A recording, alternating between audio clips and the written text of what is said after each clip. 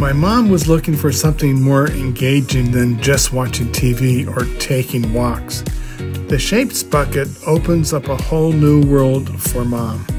With endless possibilities, she can lay them flat, stand them up, build structures, and more. It's amazing to see her imagination come to life.